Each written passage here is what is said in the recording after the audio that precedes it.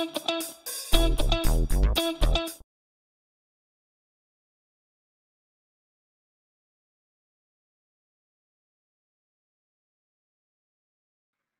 start. Uh, okay. Uh,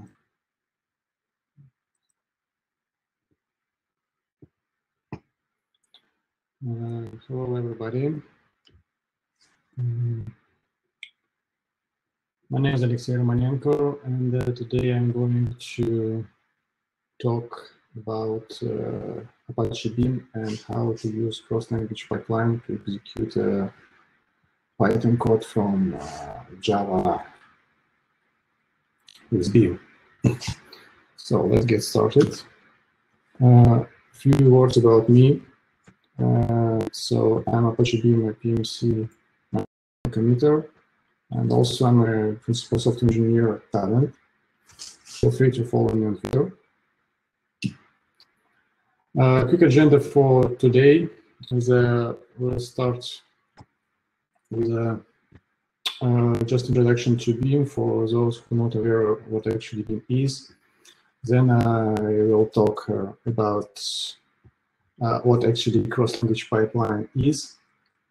And uh, quick, again, then just a few words about Beam portability architecture, which allows us to use a cross-language pipeline. Then I will show how to create and run a cross-language pipeline with Beam. Uh, finally, we'll jump into some uh, demo. I hope it will work. And then I will show you use cases and uh, just to, to give some um, some uh, sorry some numbers of benchmarks. Uh, okay. So, sorry. Okay, introduction to Apache Beam. What actually Beam is? Uh, words, uh, as we all know that uh, back to beginning of 2000, Google published MapReduce uh, paper, which uh, actually allows uh, users to develop and process data in a um, distributed way. So finally, Google started to work on different projects to processing data internally, but all of projects actually, unfortunately, was not available for users directly. Uh, and uh, at the same time, uh, different other projects started to be developed under uh, Apache Foundation, like, of course, Hadoop and Spark, Flink, and many others. And in the middle of two, I think uh, two tens, uh, 2010, Google uh, mm, opened this pro started project Google Cloud Dataflow, which actually was based on different internal Google concepts uh, uh taken from uh, Flume and Millwheel. And finally, uh, it was decided to create open source project called Beam, and then finally, it was donated to Apache Foundation uh, in the beginning of 2016, and uh, it's in, in, the end of 2016, it became just a top-level Apache project. So what actually Beam is? Uh, there are three main things in Beam. So the first one is a uh, which allows us to create a data processing pipeline uh, in the same way for batch processing and streaming processing.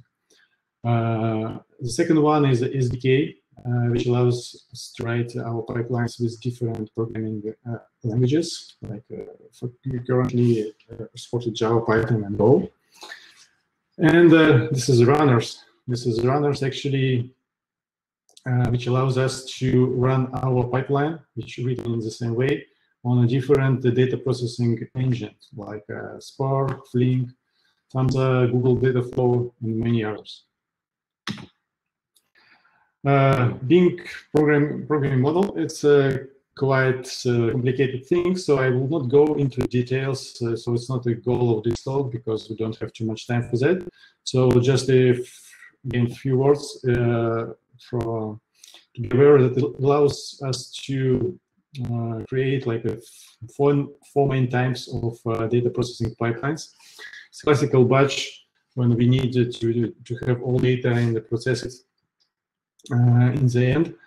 Uh, we can also split our batch into windows and uh, then uh, to do some aggregation or some other operations per window. Uh, also, of course, streaming case. So in this case, we still needed to, have windows, but we do not need to wait for complete data to arrive. So in this case, we we, we, we can process and materialize results as soon as they arrive. But uh, we can have an issue with the late data, for example, and so for late data we can uh, lose some data. So that is why we needed probably to apply a more um, pipeline with the streaming and accumulation. So in this case, we process late data and then uh, uh, apply it to our final result. So Beam allows us to create different type of pipelines with a minimal minimum modification of your pipeline. And finally, Beam Vision is a con considers three type of users. So of course, the, the first one is end users, actually who write the pipelines uh, in different languages and run it. Then SDK writers, in case if you want to add your language to Beam, so it's uh, uh, quite uh, easy to do. You just need to write a, different SDK and the runner writers as well. So in this case, if you want to run a Beam pipelines on your supported the processing environment, you just needed to write a runner and all other and that's and it will allow to run a Beam pipeline on this. Uh, so three main things why to, to choose Beam. The first one is it's unified, so it's only one model uh, model to handle batch and streaming processes. Uh, then it's portable, so pipelines can be created on, on multiple execution environments. So just uh, can run the pipeline once and run it on a different uh, data processing engines and extensible. So uh, again, so you can add your SDK can add your, your runner, uh, some libraries, and uh, IO connectors as well to be, and it will be possible to run on a, on a different backends.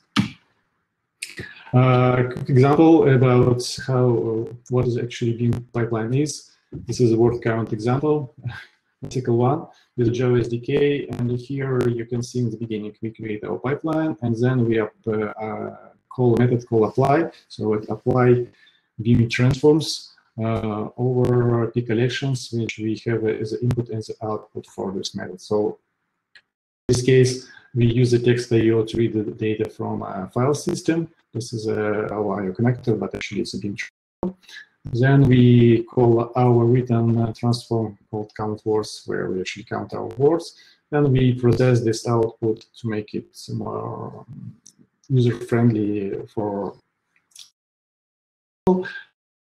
write this uh, data into file with a text.io uh, into file system as well. So pretty easy. So it's actually cross-language pipeline. Okay, uh, as I showed, it was a classical pipeline. So why is it classical? Because it actually uses only one SDK for pipeline and runner. So you run, you needed to run a write write your pipeline with the same language as you want to, use it for runner. So for example, if you write your pipeline in Java, you use a runner written in Java. Uh, and for other languages, uh, the same principle. But Beam supports portable pipeline. Uh, it's quite a big feature of Beam. Uh, it has been started to develop several years ago, still under kind of development, but uh, now it's uh, pretty stable, so it's possible and uh, recommended to use. But what is it? It allows actually to use a different SDK for pipeline and for runners. So our pipeline can be written with one SDK, and our runner can be written with a different SDK. Very classical example is, uh, for example, if you if you want to have a, our runner written in Java, in this case, we can it's possible to implement the pipeline in Python and then run on a Java runner. Uh, and the next step, uh, kind of logical step from that, is a portable cross-language pipeline. So in this case, we again we can use different SDK for pipeline and for runner, but uh, inside the pipeline, we can uh, write our transform in different languages. So, uh, for example, I call it like a pipeline SDK. It's a main uh, SDK which we use to write our pipeline, and then external SDK, uh, it could be in a different language. And in this case, it, it allows us to execute our code uh, in different languages. Uh, and for example, this is a Java Python pipeline on Spark Runner, uh, which actually Spark Runner in Beam is written in Java. So we run our pipeline in Java, but uh, we can add some transforms in Python then run it on a portable runner with a Java API. And then it will be, finally, it will create um, portable representation of our pipeline. Then it will run on a portable Spark runner. And finally, it will run on Spark, of course. Uh, so, how it works, the portability. A uh, few words, uh, just an example for Spark. Uh, our SDK uh, will translate our pipeline into a protobuf representation via runner API. So uh, also it will upload all our dependency to, to the runner via Artifact API. And finally, it will be submitted to the job server. This is just a separate instance which we need to run via job API. And uh, on the job server, we have a runner which will uh, take a portable representation of our pipeline, and it will be translated and run this pipeline on Spark. So as you can see, job server is uh, consists from three additional services. It's called artifact staging service, expansion service, and job service. Uh, I will show in the, in the demo how to, to run it. A uh, little bit more details about how actually run it on a job server. Uh, so, for example, if you have a backend, uh, and of course we have a backend, but for, for, for example, it, it will be Spark. And uh, when we run our pipeline uh, in different stages, so every transform, okay, just uh, will be translated into the stage which will run on Spark. Every beam transform. And uh, then code of this transform it will run on a, it's called a SDK harness via FN API. SDK harness will be re re responsible to execute uh, transform code. So uh, how to run an SDK harness? Actually, it could be either implemented uh, in run via Docker or via process. So actually in Beam, we have two main types of SDK harness. It's Docker SDK harness and process SDK harness. Uh, this is example with a with a Java uh, Python cross-language pipeline. Uh, additionally, uh, to run a cross-language pipeline, we needed to uh, run expansion servers for uh, external transforms. In this case, it will be Python transform. So in this case, this service will actually contains all code of our external transforms for Python and SDK uh, get all this information from expansion service, uh, code to execute, some information about coders and so on, uh, to edit into our protobuf representation of our pipeline and then send it to job server. And finally, as you can see on the backend, when we will execute our stages, uh, for every SDK, it will run a different SDK harness. For Java SDK, it will be, of course, Java SDK harness. For Python SDK, it will be Python SDK harness. So, some advantages of portable runner. Uh, of course, uh, it's I/O connectors that could be shared across different SDKs. For example, in we have uh, last connectors written in Java. So, in, with a portable runner, they, they will be accessible uh, for Python and Go SDK as well. Same time, Java SDK can utilize transforms from, libraries available only for Python and Go, like uh, TensorFlow and so on. Uh, and uh, Java, Python, Go SDK can uh, use the transforms, and so in this case, we, we, we can have a cross-language pipeline. GiveSQL currently is available only for Java SDK, but with a portable runner, it can be available by, on Python and Go SDK as well. And uh, Beam uh, TensorFlow transforms that currently available only for Python SDK, then we can utilize them in Java SDK. So this case, actually, it uh, makes Beam really portable and uh, it's possible to use uh, to mix different uh, libraries uh, in the same pipeline. Uh, some potential difficulties which we, we can face with a portable runner. So, so first of all, as I said, that portability is still kind of work in progress. Uh, it's but it's under active development, so some kind of API changes can be expected from release to release. Uh, it supports. Uh, sorry.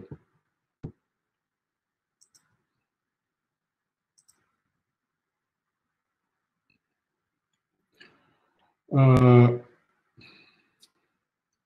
uh, we kind of it depends on your deployment mode not sometimes everything works uh, depending on your mode, like uh, locally on cloud or Kubernetes. So uh, potentially it will uh, require additional configuration for that. Of course, it will also require application changes in your application architecture, and uh, it will impact your the performance of your pipeline. I will talk about that in the end of the presentation, and we will talk about benchmarks. So how to run percentage pipeline. Okay, just to show that, uh, I created an example, like how to integrate Python 3 transform into Apache Beam Java pipeline. So this pipeline is pretty simple. It uses kind of machine learning trained model to, to classify genres of uh, different movies. And of course, it will, since it's cross-language pipeline, it will, use an expansion service uh, to make it possible. Uh, okay, first of all, uh, since our kind of main SDK for our pipeline is Java, we, we create a Java pipeline and that will integrate the Java transform to read and to write data. But it also will uh, transform, it's called a genre classifier, which will be responsible actually to call our classifier, which is written in Python. So this is this transform, uh, as you can see, uh, it will apply our external, external, it's called external transform, which actually will, uh, we needed to pass three different arguments, like a URN, uh, and uh, some payload, which actually now it's a, just a byte array, and the URL uh, host port to our extension service for this URN is very important because uh, it should be the same as we uh, and uh, for our external transform for our extension service. as now we needed to, to create our Python transform that actually will implement uh, method expand, uh, where we will call a classical uh, doFn, which actually will uh, contains all our business logic, but important thing here see that uh, this transform should be created with a uh, with uh, the same URN as we used on the previous step. And finally, yes, we did implement in Python our doFn. Actually, will be responsible to do all this classification via libraries or via our own code and so on. Ah, and finally, finally, uh, to we need to, to, add this transform to, to Python extension service, uh, which actually just a server, gRPC server which we run, and to provide it uh, some additional arguments, to, uh, like specify which type of uh, SDK SDK harness we we want to use, and so on. how to run it. Uh, first of all, we needed to run a job service endpoint. Um, example, for Spark Runner, we can do it in uh, two different ways. First of all, we can run just a Docker container. It's already in a Docker repository. So just, just uh, run uh, as usually with Docker run. Or uh, we can run it from a Beam source code. So you needed to download, Beam source code, uh, code and run it uh, with this uh, Gradle command for uh, example for Spark job server. I will show it in the demo. next step, we need to run an additional expansion service for our Python transforms. So first of all, we needed to set up our Python environment, uh, following just this guide on the Apache org side. And finally, we just run it uh, this uh, as usual Python provide some arguments. In this case, it will be just expansion service port. And the third step, uh, we run our pipeline. Uh, in our case, in my case, just a Maven. With Maven, so we use a Maven exec to run our pipeline, where need to provide some arguments. Uh, as you can see, we use a portable runner, and we need to provide arguments for our jobs uh, service endpoint, host import, and for our expansion service. So, quick demo. Uh, okay. Uh,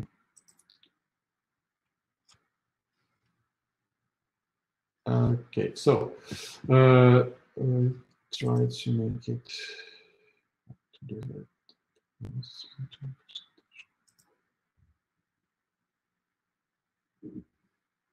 Yes, I hope it's better to watch.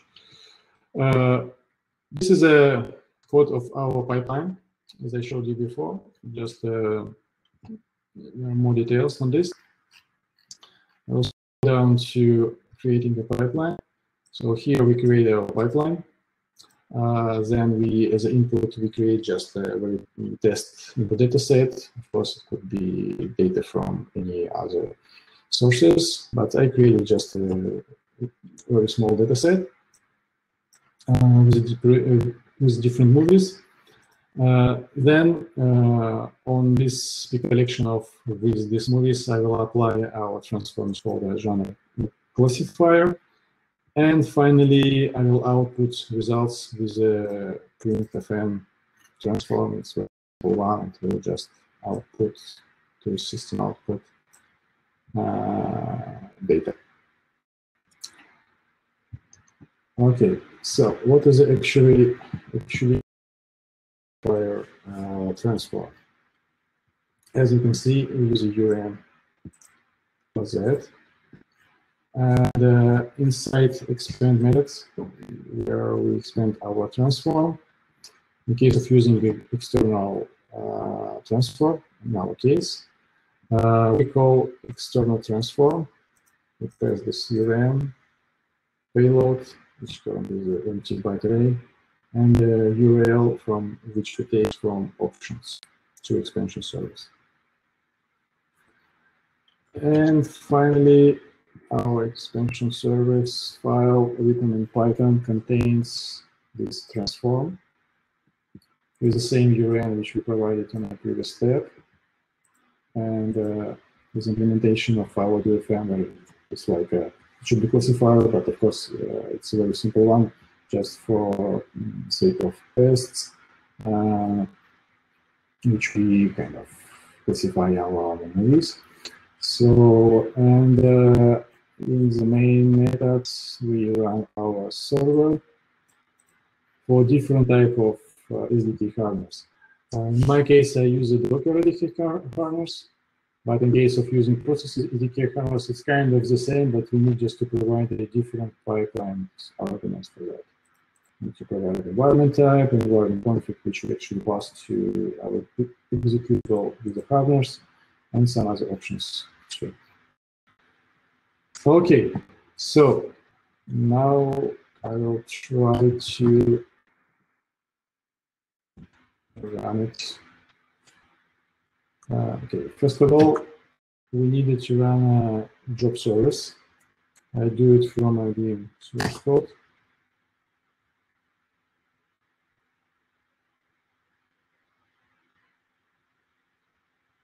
Okay, it's running. As you can see, actually, it launched three different services, artifact staging service, uh, Java extension service, and job service for three different ports. Uh, then we need to run extension service for our Python transform. We do it in a separate tab. So it runs to different ports. And finally, I'm going to run my classification pipeline with the arguments, and I, which actually specify uh, job endpoint and uh, extension service for Python transforms, and uh, I will, so I run it, and we'll see if it works.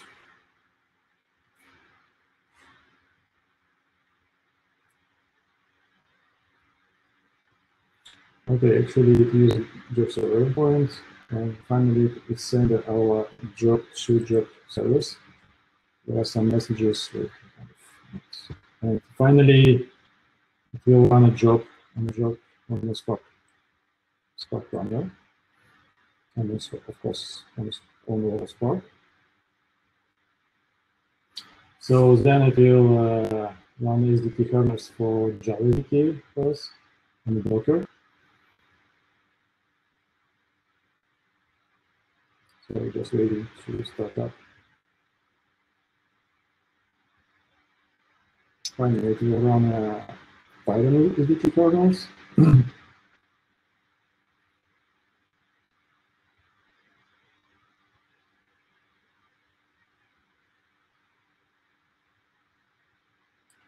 and actually, that's it.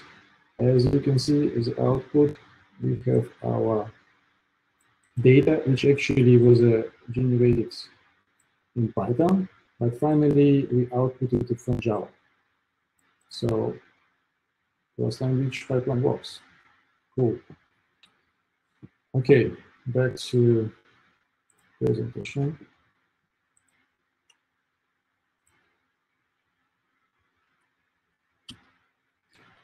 Uh, our use case and some benchmark. So in Talend, actually, we have a product it's called the Pipeline Designer, which allows the user to design a data processing pipeline in a graphical mode. Uh, so, and one of the, actually, it's source sink and different uh, components to uh, to to process your your data. And one of these components uh, was uh, to put uh, allows user to write its own Python code to do that. Uh, under the hood, this product uh, uses Apache Beam, and um, so initially, what's the problem with that? Why Python 3? Uh, because Python 2.7 uh, was reached the end of support in the end of last year, but Cure at the time, uh, our product supported only Python 2.7 with a Jython. So our component actually was written with Jython, uh, but unfortunately Python 3 is not su supported uh, by Jython for the moment. So there are several options actually how to run a Python 3 from Java pipeline. Uh, and one of the approach uh, was like uh, to do it with a Beam cross-language transform that I showed you before on a Beam portable runner. So we did a POC for that and ran some benchmark to see the different numbers. And uh, uh, so uh, what actually POC was? Well, it was like a very simple pipeline with a source sink and a processor. Uh, source sink uh, based company. Uh, did, um, did a benchmark for different types of uh, source, as, uh, as it was in memory based or in file based. For memory just for small data sets and file-based for large data sets processors. And processor, sorry, it was either Java or Python-based component. So just to see the, the, the, difference between pure Java pipeline and cross-language pipeline. Uh, so this component was pretty easy one, like it takes input record from source, uh, do some simple stream modification like to uppercase, and then send this record to output sink. Uh, two modes of this benchmark that uh, I did there with a very small input data sets and live input data sets. For small one, the goal was to compare beam portability overhead for Spark Runner because uh, we tested for Spark Runner. And uh, for real life input data sets, the goal was like to compare real pipelines different runners, portable runner and Spark Runner. And uh, I did this benchmark on my local machine. Uh, so with the Spark Master equal local 4. And the two types actually of uh, pipelines that I did. First, it's the um, pure Java pipeline. And then a cross-language pipeline. Again, just to compare the difference, how know, external transform will affect the performance. Uh, so some numbers. For a teeny input dataset, it's like a tens of records. Uh, I did it for portable runner with a Docker SDK harness, for portable runner with a process SDK harness, uh, for uh, classical Spark runner. As you can see on charts uh, left and right, we see that quite a big difference, actually several times, uh, for between portable runner and Spark runner. So it shows the overhead of the portability for uh, if we don't take into account the, the, the, time which we spend for data processing. Uh, this is what I call portability overhead. Uh, at the same time, uh, benchmark results uh, for real input dataset was a bit different. Uh, for only Java SDK pipeline, uh, what I did, again, I ran it with a portable run, but only with the process SDK harness because it was fast, faster than Docker SDK harness and uh, with against Spark Runner. I increased number of records, like uh, starting from 10 records, and then uh, ended up with uh, 500,000 of records. And as you can see on the um, right chart, the difference is getting uh, lower and lower noticeable once we increase number of uh, input And the same test uh, benchmark I did for cross-language pipeline with Java, Python the uh, pipeline. So again, uh, the same number of input records.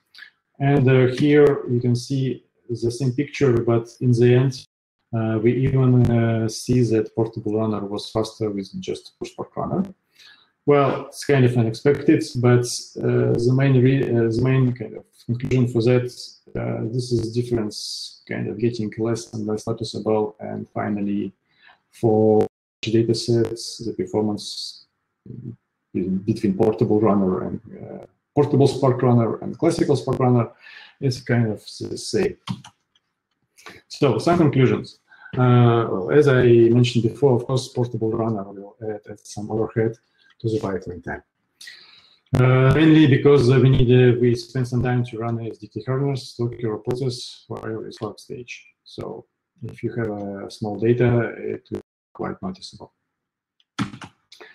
Uh, process SDK harness is faster than Docker SDK harness, but of course it's still slower than just a pure Spark runner in most cases. And uh, when we, with increasing of input data, this difference is getting less and less noticeable. So uh, uh, for kind of real life input of data, uh, it should not be a problem. so some helpful links which you probably just link to Apache Beam and um, all examples which I showed you today uh, I put on a Git, Git repository. Uh, and uh, mm, uh, if you're interested in this uh, uh, portable Spark Runner, I recommend you to watch this talk from last ApacheCon from Ismail and Kyle. They will give you more details about actually how portable Spark Runner works. Uh, thank you very much. Uh, feel free to ping me on email, on Twitter. Uh, thank you.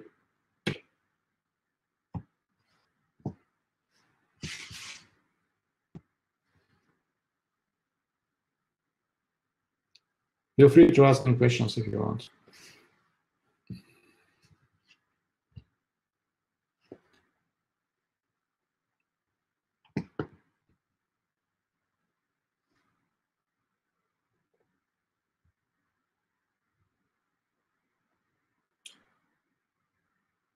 Okay, so if there are no questions, uh, again, don't hesitate to reach me here on email, and uh, we'll call this session finished. Thank you, everybody. Bye.